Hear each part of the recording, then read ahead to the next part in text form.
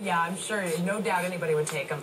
Lawrence, thanks so much. We appreciate the insight. Thank you. Right now, we're going to send it over to First and Ten. I know you guys were deep in talk. I asked Lawrence about whether or not what happened with LeBron the other night was a good or a bad thing in the future going ahead. Him hitting those jump shots. Yeah, what did he game. say? And he said, I said, tell Skip that I, I, I'd rather have that bad because I'd still be coaching and not sitting here. Give me that fucker, other than seeing, you know, some of the shit we were putting up there. Yeah. Oh, stop. Sorry. All right. well, hey, you're qualified.